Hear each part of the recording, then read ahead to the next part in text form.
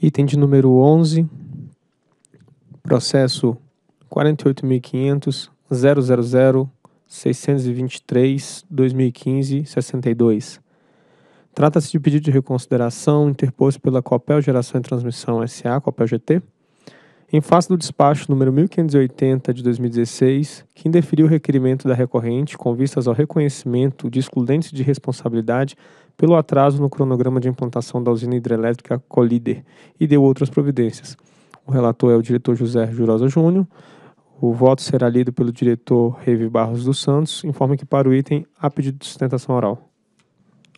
Em 14 de junho de 2016, por ocasião da 21ª reunião pública ordinária, a diretoria colegiada da ANEL decidiu unanimemente indeferir o requerimento administrativo interposto pela Copel Geração e Transmissão SA para reconhecimento de excludente de responsabilidade pelo atraso no cronograma de implantação da UHE Colíder e isenção de encargos e penalidades regulatórias contratuais ou comerciais decorrente do atraso na implantação da referida usina, mantendo inalterado o cronograma de implantação constante no contrato de concessão 01-2001, do MME, e os cronogramas de suprimento e demais obrigações constantes no, nos contratos de comercialização de energia elétrica no ambiente regulado, associados ao, ao HE Colíder. A decisão foi consubstanciada no despacho 1580-2016, em 4 de julho de 2016, a Copel GT apresentou o pedido de reconsideração em face do despacho 1580-2016, que indeferiu o pleito da concessionária. E em 11 de julho de 2016, eh, o diretor de Rosa foi sorteado, o diretor é o relatório. Convido para fazer uso da palavra o senhor André Serrão Borges de Sampaio, representante da Copel GT. Uh, senhor diretor-geral, só uma, uma questão de ordem. É, na verdade, o item 19, que é da relatoria do Dr. Reive também, é praticamente idêntico a este caso. Então, para poupá-los de, de mais tempo, sugiro que talvez fizesse um julgamento conjunto, eu faria uma única sustentação oral. Acho que isso é mais eficiente por, para todos. Se Vossa Excelência estiver de acordo. O que, que lhe parece, doutor Reive? Não, é, tranquilo, ele tem, ele tem uma correlação porque é, enquanto que no, no, no 19 nós julgamos uma penalidade por atraso no empreendimento, e, evidentemente, esse aqui a, faz uma avaliação do excludente de responsabilidade, quer dizer, um tem uma dependência do outro. Se o excludente de responsabilidade for a, aprovado, então torna-se em efeito a penalidade. Se ele não for aprovado, aí sim prevalece a penalidade. Então, portanto, tem uma correlação. Precisamente. Pois não. Bom, obrigado, então.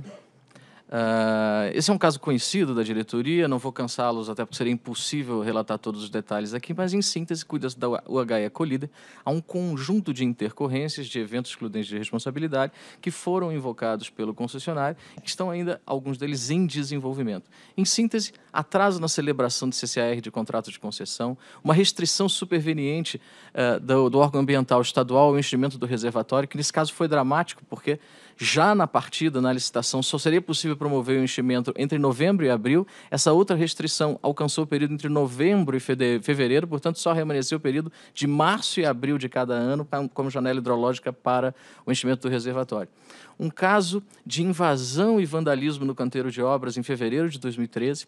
Alteração pelo poder público, não a pedido do agente, pelo poder público, do ponto de conexão da usina ao sistema interligado a suspensão por decisão judicial do processo licitatório para a contratação dos serviços de resgate de fauna, que é pressuposto da realização da supressão vegetal, como os senhores sabem é, de longa data, atraso na emissão de licença de supressão vegetal, um atraso superior a um ano, neste caso, perda da já supervenientemente reduzida janela hidrológica, isto é, houve o deslocamento para além da janela hidrológica, que já era restrita em decorrência das ocorrências anteriores, houve a recuperação judicial da fornecedora de equipamentos, é o caso notório da WPE e IMPSA, a SEMA do Mato Grosso uh, alterou posteriormente os parâmetros da supressão vegetal, tornando o processo ainda mais complexo, e nova decisão judicial impediu o fechamento do vão 2 do vertedouro, implicando um novo atraso de 183 dias, que exigiu manifestação do Superior Tribunal de Justiça para o afastamento da decisão judicial. Uh, como o Dr. Reive já identificou no voto do Dr. Jurosa, o despacho 1580 da ANEL rejeitou essas excludentes de responsabilidade. Também já se conhece o voto do AI 29, porque se cuidava de um processo no bloco da pauta. Mas, em síntese, essa diretoria uh, entendeu o seguinte: é, não se caracterizariam como caso fortuito de força maior os eventos que nós invocamos como supostas excludentes, e não haveria nexo causal com atraso na implantação do empreendimento, uma vez que não seriam estes eventos o caminho crítico para a implantação da OHE Colíder. Na verdade, entendeu mais a diretoria que o caminho crítico, vou tomar liberdade de ler aqui porque esse ponto é central, o caminho crítico de implantação do empreendimento passava pela realização da supressão vegetal e resgate de fauna na hora do reservatório.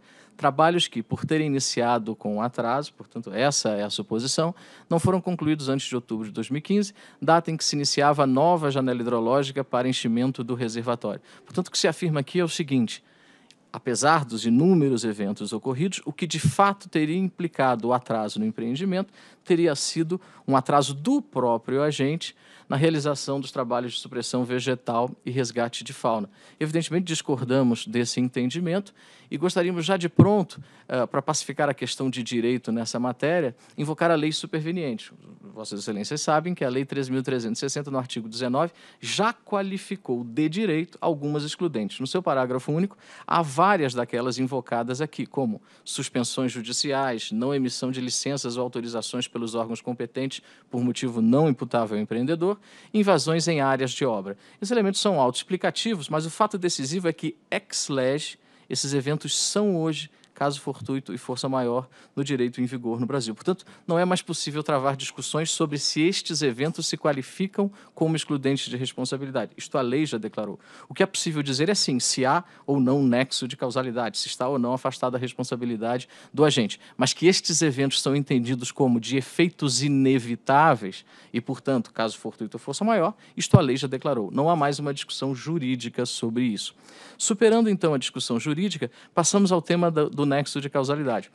Como já lhes disse, acabo de asseverar, o ponto fundamental da decisão foi dizer a supressão vegetal ou o atraso na sua consecução é que teria dado causa, em última análise, ao deslocamento do cronograma e não os outros eventos excludentes de responsabilidade.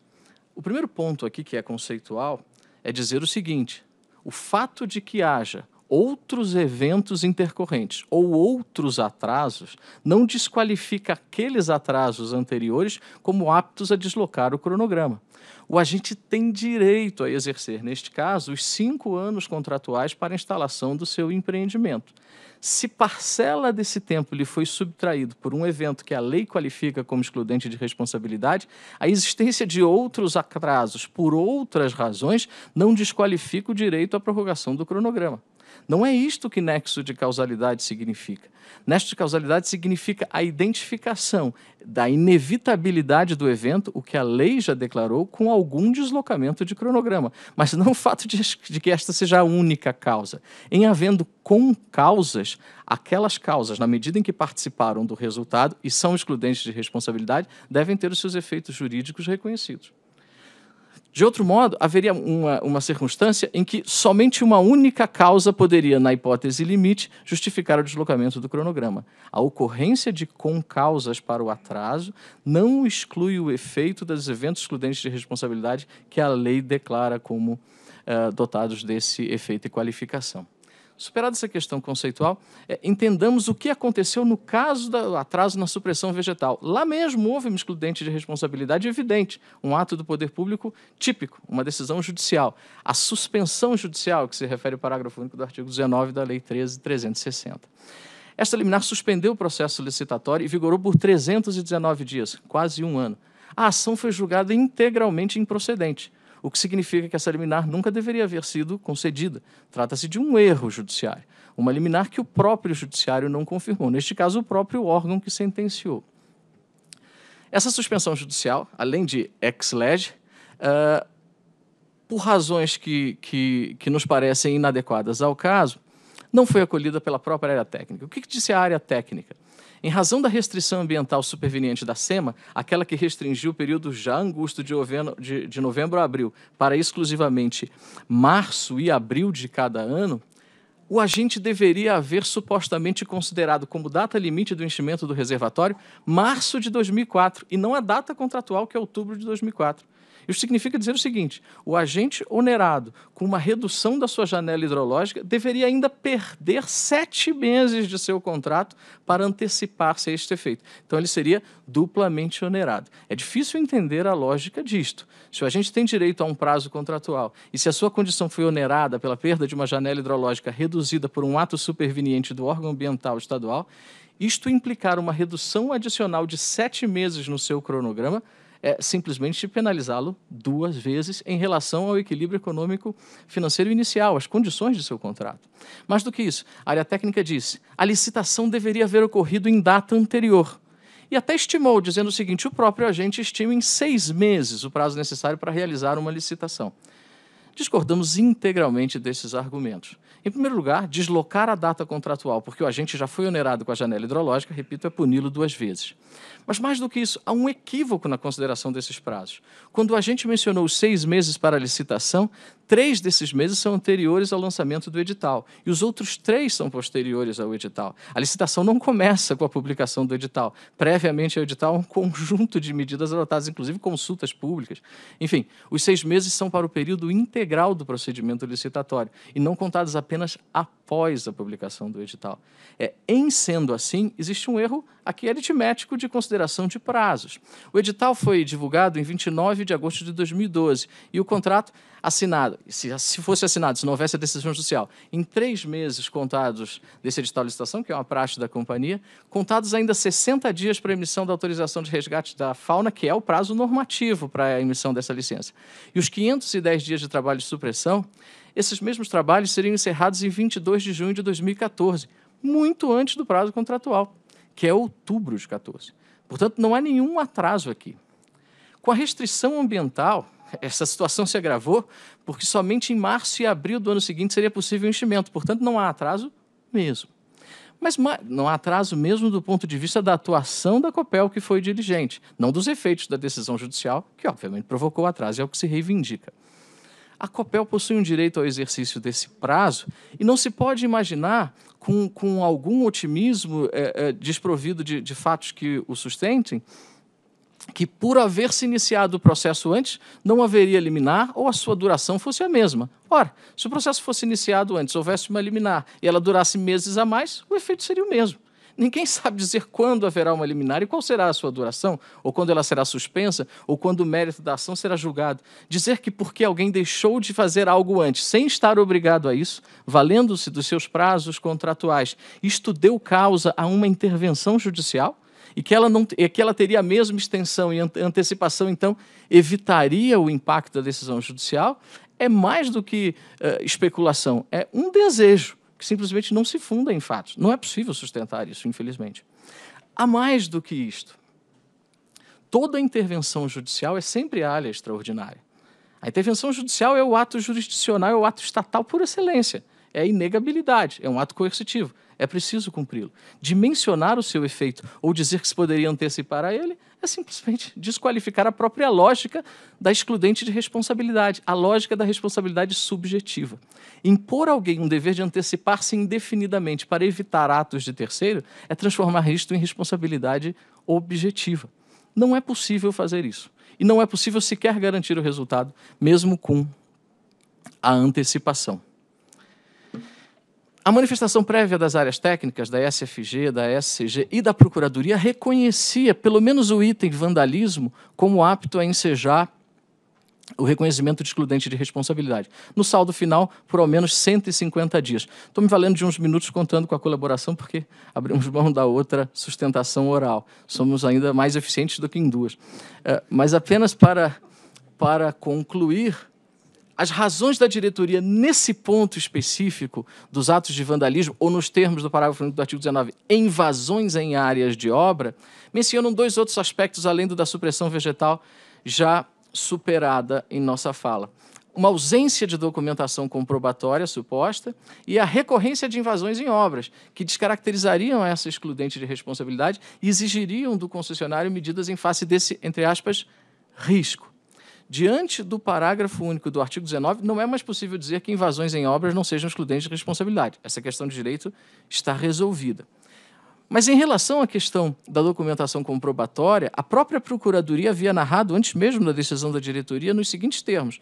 Na opinião desta Procuradoria, os atos de vandalismo narrados e devidamente comprovados, de fato, não constituíram qualquer aspecto de manifestação civil, trabalhista, grevista ou política de natureza lícita. Ainda que alguém possa dizer houve esta ou aquela insatisfação de qualquer natureza, isso não autoriza ninguém a queimar é, automóveis, a queimar instalações de canteiro de obras, refeitórios, instalações administrativas, enfim.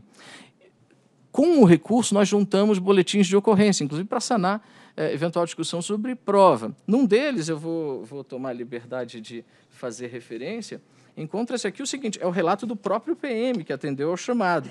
Disse o seguinte no local, constatamos é, de imediato a veracidade da informação, verificando ainda que cerca de 15 automóveis diferentes, marca espécie, haviam sido incendiados, bem como todos os pavilhões da ala administrativa, consultório médico, posto do Banco Bradesco.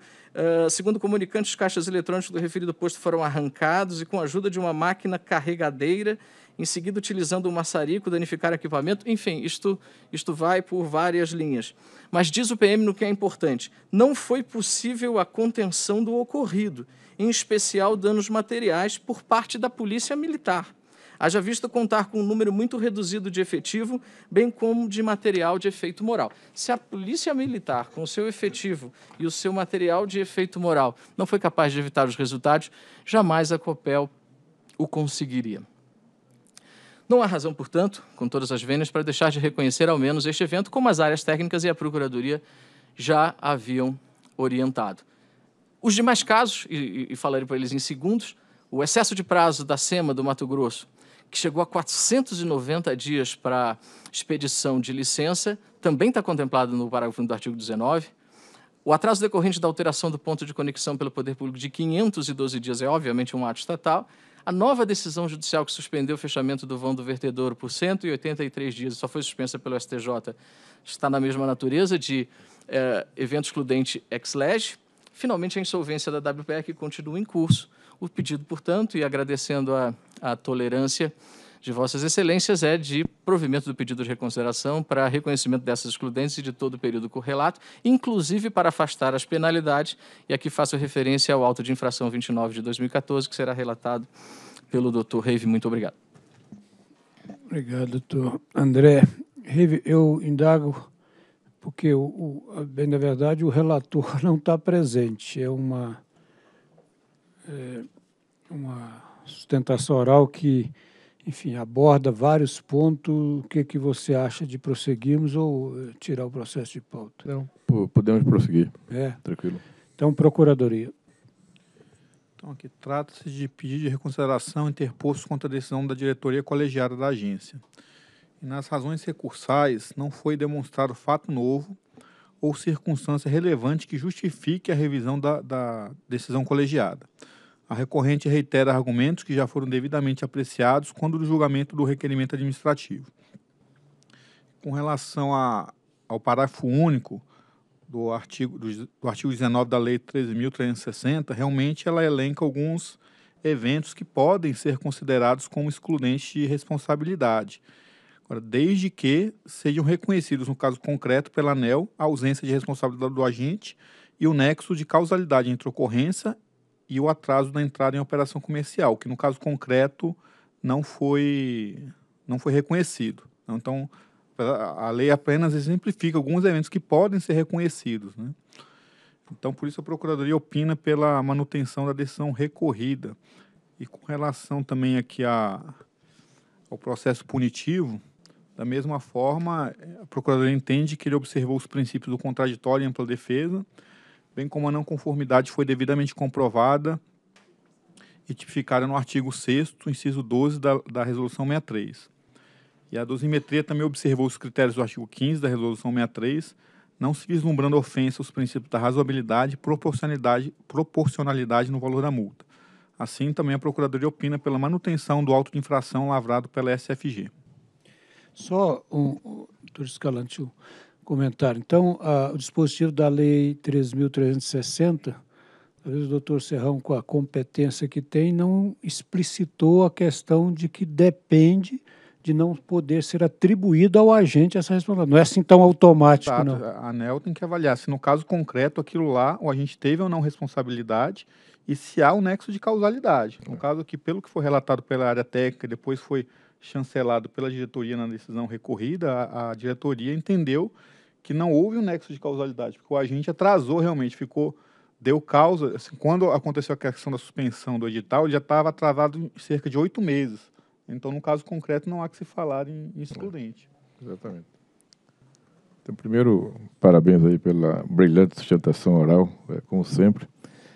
Mas nós estamos discutindo um, um tema que já foi é, decidido em 14 de junho de 2016, né, na 21 primeira reunião pública ordinária, onde, por unanimidade, a, diretoria decidiu, ao analisar é, o recurso da COPEL, não é, aprovar o excludente de responsabilidade. E aí, nesse caso, nós estamos agora fazendo uma avaliação do voto do diretor Jurosa em relação ao, ao, a um pedido de reconsideração. Então, a expectativa entre o, o mérito do julgamento primeiro e o segundo é que haja realmente um fato novo que, olha, isso aqui não foi observado, portanto, seja observado. E nós percebemos que claramente há, uma, uma argumentação em cima de uma argumentação que já foi colocada e que ela já foi analisada e que foi, de certa forma, é, não considerada pela diretoria. Então, é um pedido de consideração é, em face do despacho 1580-2016, quem deferiu o requerimento da recorrente,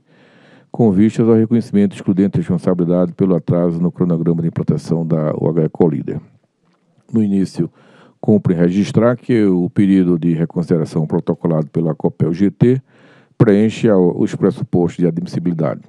O empreendedor justificou o pedido de postergação do cronograma de implantação com excludente de responsabilidade baseado nos argumentos listados a seguir e, em sua maioria, já haviam sido apreciados no requerimento original. Primeiro, um atraso celebrado no contrato de concessão do CCAR, Segundo, distúrbios e atos de vandalismo no canteiro de obra ocorrido em fevereiro de 2013. Terceiro, alteração decorrente da decisão da administração pública do ponto de conexão da usina ao sistema interligado nacional. Da suspensão por decisão judicial do processo citatório para a contratação de serviços de resgate de fauna. O atraso por parte do órgão ambiental para emitir a licença de supressão da vegetação a conclusão das ogivas do vertedouro para o fechamento do rio e o início do enchimento do reservatório e restrições impostas pelo poder público ao enchimento do reservatório, a falência dos fornecedores de equipamentos, no caso aí o Power Energy, é, insolvência, é, dificuldade nos embaraços alfandegários da Argentina, nova decisão da SEMA, Mato Grosso, de 1 de fevereiro de 2016, e, finalmente, a suspensão por decisão judicial, em 17 de novembro de 2015, dos trabalhos de supressão da vegetação. Dessa forma, o agente solicitou novamente, conforme requerimento original, o reconhecimento de excludente de responsabilidade devido à conjugação de efeitos cumulativos que impactaram no início da operação comercial da primeira unidade geradora. Entretanto, revisou as datas de entrada de operação apresentadas no requerimento original em virtude do seguinte item apresentado pedido de consideração: impacto na geração das unidades geradoras, repercussão agregadas e fatos novos. Então, a tabela 1, ela apresenta uma descrição do início comercial. Inicialmente, o início da operação comercial da prioridade é, no contrato estava previsto para 30 de 12 de 2014. A data proposta pela COPEL do requerimento administrativo, esse requerimento feito em 4, 4 de 12 de 2014, era que fosse 4 de outubro de 2016. E depois a data proposta pela COPEL no pedido de reconsideração é, esse pedido já feito em julho de 2016 foi que fosse para 1 de maio de 2017. É, o início da operação da segunda unidade, é, inicialmente, contratualmente, seria 28 de fevereiro de 2015. No primeiro pedido foi 3 de 12 de 2016 e ainda não informado qual seria a entrada de operação da segunda unidade. E com relação à terceira unidade, o, o, o, a data contratual seria 2015, abril de 2015. No pedido inicial foi fevereiro de 2017 e no pedido de consideração também não foi informado. Portanto, a seguir serão analisados os argumentos trazidos aos autos pela recorrente em face do despacho 1580-2016. Primeiro, atraso na celebração dos contratos de concessão de CCAR.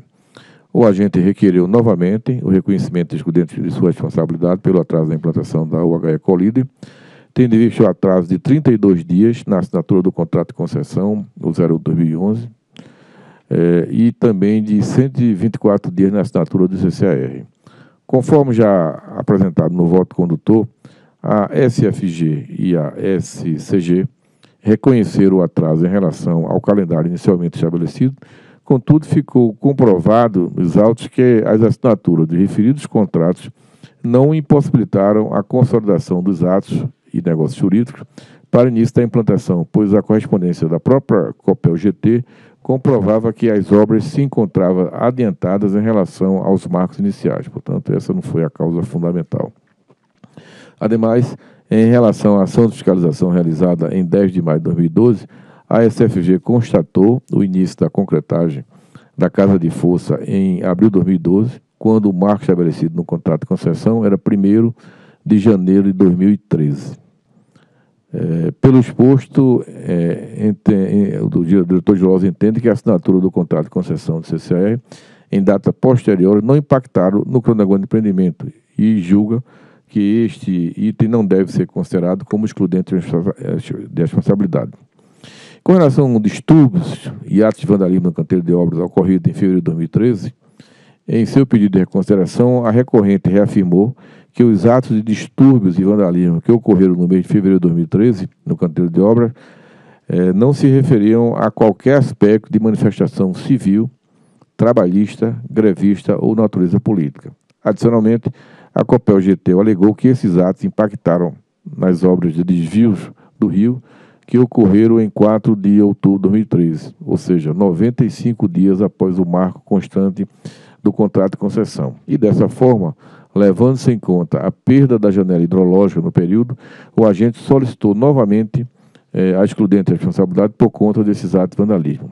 O voto condutor do despacho recorrido afirmava que a documentação apresentada pela recorrente carecia de documentos comprobatórios essenciais para uma análise de excludente responsabilidade, semelhante àqueles apresentados em outros casos citados como os precedentes, tais como os registros policiais e até mesmo decisões judiciais. Em seu pedido de reconsideração, de 4 de julho de 2016, a recorrente apresentou as cópias dos boletins de ocorrências das polícias dos municípios de Colíder e Canaã do Norte, para a ocorrência do mês de fevereiro de 2013 como documentação complementar ao requerimento inicial. Na análise dos referidos boletins, constatou o diretor Juroda, no BO 58 de 2013, diferentemente do que havia sido afirmado pela recorrente, que a origem dos distúrbios e vandalismo das instalações da alga acolhida foi devido a questões trabalhistas, ou seja, a empresa não estava pagando as horas extraordinárias decorrente dos serviços prestados nos finais de semana e feriado. Portanto, essa foi a causa fundamental da, da greve é, ocorrida no, no, período. Pelo exposto, é, entendo o diretor Jorosa que a Copel GT foi a responsável pelo distúrbio e vandalismo ocorrido no mês de fevereiro de 2013, pois não estava cumprindo com as suas obrigações trabalhistas. Assim, julga o diretor Jorosa pertinente não considerar os alegados atos de vandalismo e distúrbio como excludente de responsabilidade e mantém-se a decisão da recorrida. Com relação à alteração decorrente da decisão da administração pública do ponto de conexão da Algaia Coliga ao Sistema Interligado Nacional, a Copel GT reafirma que a decisão da empresa, eh, da EP, de alterar a linha de transmissão de interesse restrito da Algaia Colida, no caso da SE Coletora Centro para a Coletora Cláudia, causou atraso no cronograma do empreendimento. E, nesse sentido, a recorrente solicitou novamente o reconhecimento de 512 dias de excludente responsabilidade, tempo esse contado entre a data original do contrato de concessão, o 01-2011, e a assinatura do primeiro termo aditivo ocorrido em 9 de dezembro de 2013. Sobre o assunto, é em controvérsia que a administração pública deu causa à alteração do ponto de conexão da usina. Contudo, é também em controvérsia que a concessionária tinha conhecimento de, dessa mudança desde 30 de setembro de 2011. Ressalta-se que, ainda que com essa mudança houve uma redução significativa na extensão da linha de transmissão de interesse restrito, que inicialmente era de 130 km, passou para 64 km, portanto, é, 50% do, valor do, do, da extensão inicialmente prevista, reduzindo assim o tempo necessário para a implantação e os custos dos investimentos associados. Registra-se que somente em 1 de abril de 2014 e 11 de abril de 2014 houve a liberação para o início dos trabalhos de supressão da vegetação, da vegetação e de resgate de fauna, respectivamente. Sabe-se ainda que somente para a supressão da vegetação são necessários aproximadamente 15 10 dias. Portanto, é cristalino que a alteração do ponto de conexão ocorrida em 30 de setembro de 2011 e formalizada no primeiro termo aditivo não representou o caminho crítico para o atraso do empreendimento. Os gráficos 1 e 2 a seguir, extraídos da nota técnica 13 de 2015 da SFG, ilustram essa informação. Portanto, nós temos aqui os gráficos onde tem as, as obras, a atividade, no caso supressão, início previsto, e no processo de citação, portanto, uma, a, informação do mandato de segurança e o impacto que houve eh, na obra de transmissão com relação a esse aspecto aqui de supressão de vegetal. Adicionalmente, ressalta-se que as áreas técnicas da ANEL, juntamente com a Procuradoria Federal, também se manifestaram no sentido de que a alteração do sistema de transmissão de interesse restrito da usina não comprometeu o cronograma de implantação da UH Colíder. Por oportuno, o voto condutor do despacho destaca que, apesar da alteração do ponto de conexão da usina decorrer da vontade da administração pública, não representou caminho crítico na implantação do empreendimento e, assim, não reconheceu como excludente de responsabilidade. Pelo exposto, a percepção do diretor Jurosa ficou comprovado nos autos que a alteração do ponto de conexão da usina não impactou no cronograma, portanto, não merece prosperar os argumentos trazidos como excludente de responsabilidade pelo atraso nas obras de implantação da UH Colida e mantém-se a decisão recorrida. Com relação à suspensão por decisão judicial do processo citatório para a contratação de serviços de resgate de fauna, a COPEL GT reiterou em seu pedido de reconsideração que fosse considerado 318 dias de excludente de responsabilidade devido à decisão judicial que suspendeu o certame para a contratação de serviços de resgate da fauna. A recorrente contesta o voto condutor do despacho, que principalmente do que diz respeito à livre gestão do empreendimento, pois, na sua visão, o agente possui um direito definitivo a valer-se de todo o prazo contratual e ver tal prazo restituído em fase de qualquer ato do poder público. Sobre essa alegação, entende o diretor Jurosa que não merece prosperar, haja vista que ficou comprovado durante todo o processo que a ineficiência na gestão da empresa é que causou o atraso no cronograma de implantação do empreendimento. Se não vejamos, quando da licitação foi suspensa, esse marco já estava atrasado em 240 dias, segundo informado pela SFG. Portanto, para que a entrada em operação comercial da usina, prevista no contrato de concessão, fosse factível, a cada licitação, a citada licitação deveria ter sido iniciada em janeiro de 2012, ou seja, oito meses antes do que de fato foi feito. Ademais, o processo licitatório a ser seguido pela Copel GT envolve procedimentos que podem demorar. Frequentemente possuem contestações de participantes, embargos judiciais e outros problemas. Assim, toda a precaução possível é recomendada quando da implantação do empreendimento que depende de licitações. O foco dos argumentos apresentados pela COPEL-GP relativo aos problemas judiciais enfrentados após o início do processo licitatório não afasta a, a falta de diligência do empreendedor antes do início da licitação. Por oportuno, a SSG registrou corretamente que a concessionária poderia ter iniciado esse processo licitatório desde dezembro de 2010, quando foi emitido o parecer técnico pelo órgão ambiental o qual já apresentava o detalhamento da supressão vegetal da área de reservatório. Entretanto, levou 32 meses a contar da primeira oportunidade para tomar providências quanto à contratação dos serviços de resgate da fauna eh, para tomar tal medida. Por fim, cabe destacar que a Procuradoria Federal já se manifestou em casos análogos pela possibilidade de reconhecer como causa de responsabilidade a decisão judicial que paralisa ou impede a construção barra implantação do empreendimento, e, no presente caso, manifestou pela improcedência, haja vista a magnitude e efeitos advindos da citada decisão judicial. Com relação ao atraso na emissão da licença de supressão da vegetação, a Copel GT alega que, em seu pedido de consideração, que a morosidade da Secretaria do Estado do Meio Ambiente do Mato Grosso, o SEMA-MT, é que deu causa ao atraso no cronograma de implantação e solicita que o reconhecimento de 490 dias de excludente responsabilidade. Registros que a Copel GT se limitou a repetir os argumentos apresentados e analisados e não acatados no voto condutor do despacho 1580-2016, como também afirmar que a emissão de autorização para supressão vegetal ocorrida em 1 de abril de 2014 não ocorreu por opção da recorrente, e sim devido ao fator devido ao ato do poder público, que atrasou a contratação da, do requerente da contratação de serviços de resgate de fauna. Afirmou ainda que foi diligente e proativa na implantação do empreendimento. O parecer técnico, parte integrante da licença de instalação que estabeleceu a, a supressão vegetal sobre 100% da área do reservatório, foi emitido em 1 de dezembro de 2010 e somente foi contestada pela COPEL em 12 de setembro de 2012, portanto, mais de dois anos. Ou seja, aproximadamente 627 dias da emissão do referido parecer. Portanto, conclui-se que a recorrente não foi diligente nem proativa nesta contestação. Pelo contrário, foi totalmente morosa em apresentar o seu pedido de reconsideração ao parecer.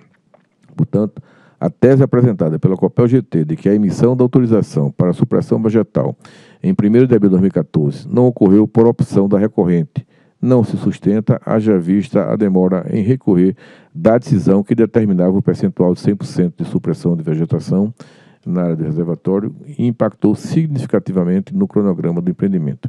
Ademais, a Copel GT poderia ter optado por cumprir a decisão do órgão ambiental e só não o fez, pois vislumbrou uma redução significativa nos custos previstos.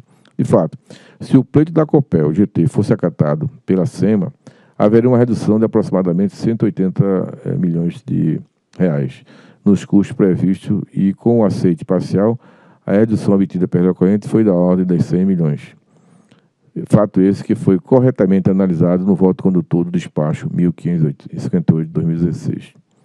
A Copel GT se deparou-se com um trade-off, ou cumpria a exigência ambiental em sua integralidade, arcando com os custos adicionais de forma a não comprometer a data de entrada em operação da usina, ou suspenderia o início dos serviços para apresentar suas considerações ao órgão ambiental, na tentativa de reduzir a área a ser desmatada e, ao mesmo tempo, seus custos em fazer isso, mas comprometeria a entrada em operação da usina à medida que o órgão ambiental demorasse a reconsiderar suas exigências. Portanto, foi uma decisão estratégica analisada e tomada na melhor avaliação feita pela COPEL. Por fim, em relação à alegação da recorrente que a autorização para a supressão vegetal ocorrida em 1 de abril de 2014 não se deu por sua opção e sim devido ao ato do poder público, que atrasou a contratação de serviço de resgate de fauna da recorrente, cabe salientar que é sabido que a supressão vegetal é intrinsecamente ligada à contratação da atividade de resgate da fauna. Contudo, conforme exaustivamente analisado no item anterior, quando da licitação foi suspensa, o empreendimento já estava atrasado em 240 dias.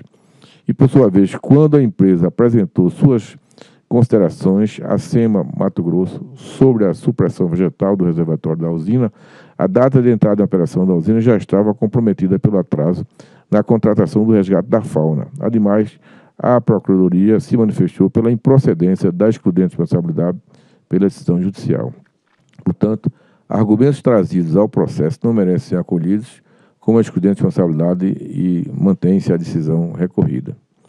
Com relação ao atraso na conclusão das ogivas do vertedouro, eh, em decorrência do atraso da supressão vegetal na área do reservatório, a requerente menciona que existe o risco futuro do início do fechamento definitivo do reservatório ocorrer com atraso de 210 dias após a conclusão da supressão vegetal.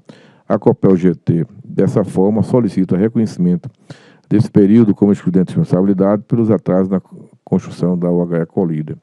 Sobre essa solicitação, é importante ressaltar que a época do pedido de consideração ao despacho 1580, ocorrido em 4 de julho de 2016, essa etapa da obra ainda não havia sido iniciada, e considerando que a principal alegação da Copel GP para a excludente responsabilidade é o atraso na conclusão da supressão vegetal, já analisado neste voto, entende-se, no caso do doutor Jurosa, que os argumentos trazidos no processo não merecem ser acolhidos como excludente de responsabilidade e, se e mantém-se a decisão recorrida.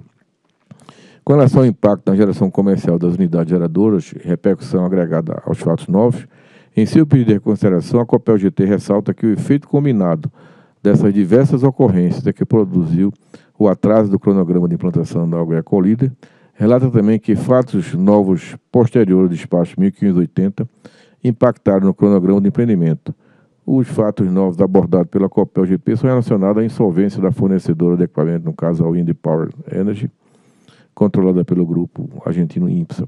Dificuldades em desembaraço alfandegário da Argentina por ocasião da alternância de governo naquele país. nova decisão da SEMA Mato Grosso, em 1 de fevereiro de 2016, e também da decisão judicial que impediu o vão do vertedouro em 17 de novembro de 2015. Em relação item 1, informa-se que, apesar de não fazer parte do pedido originário do excludente de responsabilidade, foi objeto de análise pelas áreas técnicas da ANEL, que se manifestaram no sentido de que, se a gestão dos contratos de fornecimento de serviços e equipamentos é parte inerente ao risco do empreendimento, devendo ser gerido e suportado pelo empreendedor, posição essa que, no qual o diretor Josa concorda. Da mesma forma, em relação ao item 2, que se refere à dificuldade nos desembaraços alfandegários, entende o diretor Jurosa que se trata de questão relacionada com a gestão da empresa e é parte inerente ao risco de empreendimento, devendo ser gerido e suportado pelo empreendedor. Em relação ao item 3, que trata da nova decisão da SEMA, em 1 de fevereiro de 2016, ressalta-se que esta decisão foi posterior à decisão judicial, que suspendeu os trabalhos da supressão vegetal. Destaca-se ainda que a decisão foi motivada pela reanálise pela SEMA do projeto de supressão de vegetal com a vistoria na área do empreendimento entre o dia 16 a 19 de novembro de 2015, que resultou na emissão do parecer técnico do qual nós destacamos. Da análise e vistoria foram constatadas inconsistências no plano de exploração florestal, inventário, na modelagem para avaliação da qualidade da água, na argumentação técnica para a manutenção dos paliteiros para o benefício do ictifauna e principalmente pela prática deliberada eh, de enterro na área do futuro reservatório, sendo que a proposta de manutenção de 29,93% da vegetação se torna inválida. Ademais, restou evidente que determinados aspectos técnicos não foram contemplados nos estudos até então apresentados no processo de licenciamento ambiental. Portanto, a decisão da SEMA foi em cima de um relatório apresentado um estudo elaborado pela Copel GT. Portanto, entendo que esse item não merece ser acolhido como exclusiva de responsabilidade, haja vista que a referida decisão do órgão ambiental se refere ao não cumprimento dos condicionantes relacionados à supressão vegetal de responsabilidade exclusiva da Copel GT. Em relação ao item 4, destaca-se que a etapa de supressão vegetal já foi objeto de análise, no item 2.5, deste voto, no qual comprova que a Copel GP somente contestou o parecer técnico de 21 de dezembro de 2010, parte integrante da licença de instalação, que estabeleceu a supressão ambiental sobre 100% da área de, de, reservatório em 12 de setembro de 2012, ou seja, aproximadamente 627 dias da emissão do devido parecer. Ademais, a Copel GT poderia ter optado por cumprir a decisão, isso eu já citei esse aspecto. Por fim, que em pese que não, não se verificou nos autos a cópia da decisão judicial 17 de novembro de 2015, destaca-se que a Procuradoria já se manifestou, em casos análogos, pela possibilidade de reconhecer como cláusula de responsabilidade a decisão judicial que paralisa ou impede a construção barra implantação de empreendimento, dependendo da magnitude dos efeitos advindos dos atos. Portanto, pelo exposto, o diretor Girosa não visualiza nos presentes autos que esta decisão judicial possa ser reconhecida como causa de excludente de responsabilidade pelo atraso do empreendimento. E, em considerações finais, conforme análise constante é, nesta fundamentação, Concluiu o diretor Jurosa que os eventos apresentados pela recorrente não se caracterizam causas excludentes de responsabilidade do agente pelo atraso. Julga-se que o pedido de consideração devem ser indeferido e o despacho 1580 de 2016 mantido.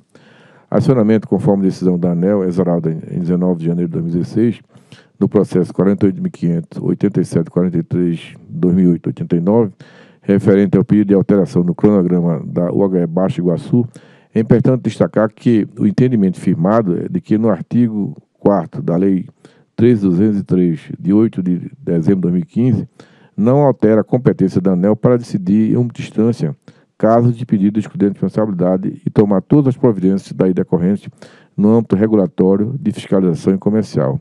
Não obstante, conforme o entendimento firmado na fase de discussão do assunto entre os diretores, foi ajustado que, como há um pedido de prorrogação de prazo de concessão após o trânsito em julgado no âmbito da ANEL, o processo deve ser enviado ao MME, exclusivamente para avaliação dessa questão, que se dará de forma independente de reconhecimento ou não do excludente de responsabilidade pela ANEL. Ou seja, a decisão da ANEL se aplica de forma imediata e em última instância administrativa para os fins comerciais especialmente quanto ao período, ao período de suprimento do CCR podendo o MME agir sobre é, a, concessão.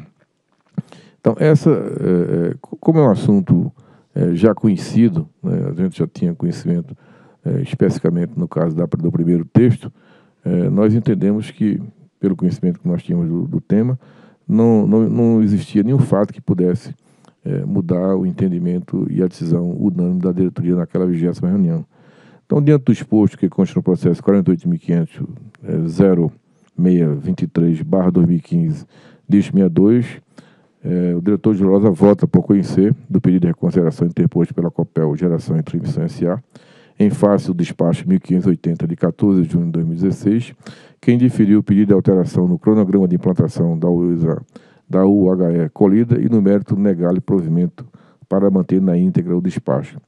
E vota ainda por encaminhar aos autos do processo ao Ministério da Energia para decisão final com a recomendação de indeferimento do pedido de prorrogação do contrato de concessão 01-2001 2011, é, MME, UHE Colida, é o voto do diretor juroso. Doutor Rubio, posso só fazer um esclarecimento de fato aqui, só sobre uma, uma afirmação nossa? É exclusivamente o seguinte: quando o COPEL disse que não se tratava de movimentação de natureza trabalhista, política, civil, enfim, ou de, ou, ou de qualquer outra é, estipe, é o que se está a dizer, não se está a dizer que não há nenhuma motivação, é lógico, se não houvesse motivação não teria acontecido nada. Quem pratica atos de vandalismo tem alguma motivação subjetiva. O que nós estamos dizendo foi aquilo que a Procuradoria disse no seu parecer. Movimento político, grevista, trabalhista de natureza lícita, é lógico. Mas o fato que eu quero esclarecer é o seguinte, esse mesmo boletim, é 58, é de 2013, e a nossa boa-fé é completa, nós, nós que juntamos esse documento. Ele diz o seguinte, informações de testemunhas davam conta que desde o início do mês de fevereiro de 2013 havia rumores de paralisação dos trabalhadores na construção pesada, ou seja, o HE Colíder, por conta do não atendimento de suas reivindicações, que em data de 13 de fevereiro, por volta das 20 horas, iniciou-se por parte de aproximadamente 50 funcionários contratados pela empresa consórcio CR Almeida J. Malucelli, porém não identificados, dados estarem encapuzados uma série de atos de vandalismo. Esse é o sentido. Se alguém entra encapuzado num, num canteiro, destrói, isto não é uma manifestação grevista ou trabalhista. Se alguém tem uma manifestação grevista, entra com uma ação na, na Justiça do Trabalho ou convoca uma greve. Não houve greve. Não houve greve aqui. Então, esse, esse é o ponto da nossa, da nossa manifestação. É lógico que houve alguma motivação e havia uma insatisfação. Eles são vândalos, não são loucos. Mas o que eu estou dizendo é: esta motivação não foi de natureza lista. Não foi isto que se deu. Não foi um movimento grevista nem trabalhista. E veja, essas questões se resolvem em outro foro. Finalmente, a lei não cogita motivações. Ela fala invasões em áreas de obra. Obrigado. Ok. Em discussão. Bem, aqui só um, em termos do encaminhamento, uma dúvida. É, esse encaminhamento para o Ministério eu não compreendi bem. Como é que, qual é a razão do encaminhamento para o Ministério?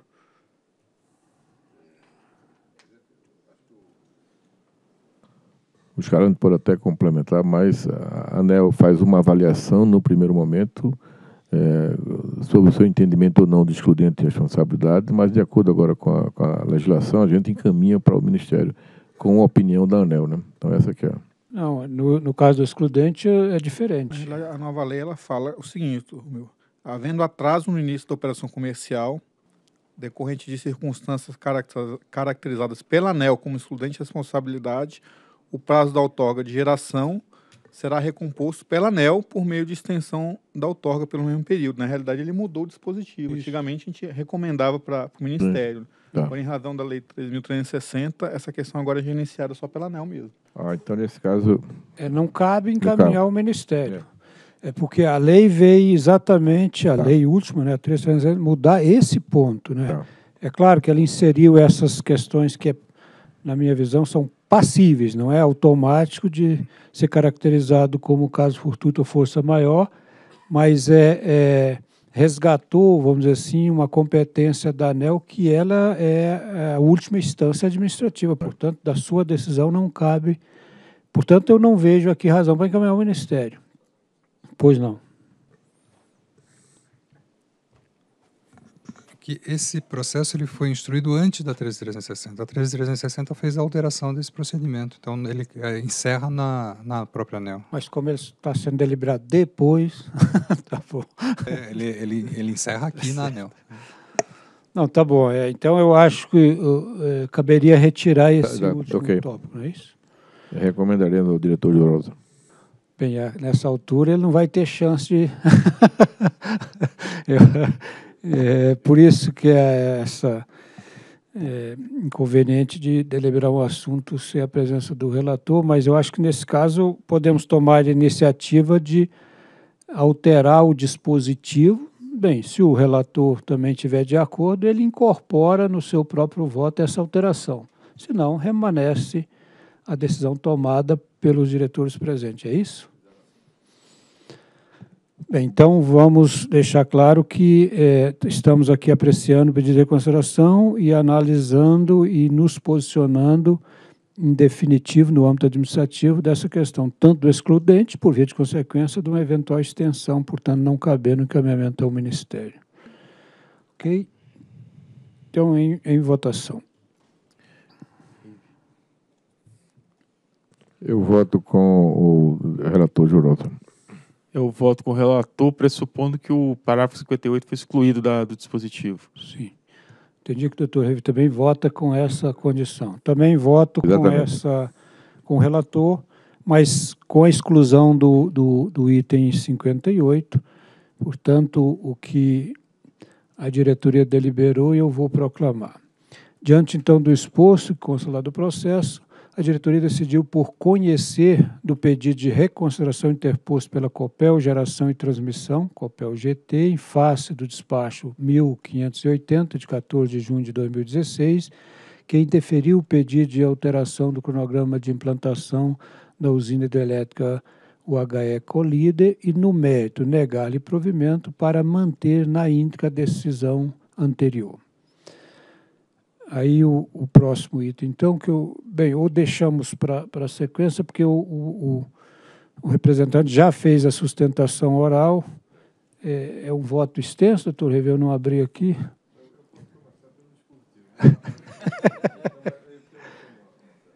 eu só estou perguntando, dado o adiantado da hora, se, se continua. Começamos a leitura do relatório do voto, porque ele já foi divulgado na, no bloco. No bloco. Ele foi retirado do bloco. Ok. Obrigado. Então vamos ao próximo item com esse encaminhamento.